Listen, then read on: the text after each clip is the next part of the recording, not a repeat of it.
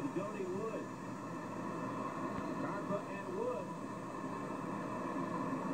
With Dody getting the upper hand here as Karpa tries to battle back. Well, we've seen a couple of bouts now involving Dody Wood. Last game against Alex Hicks. Zero points on the season for Wood in 72 penalty minutes, so pretty good indication that this is what Dody Wood does best.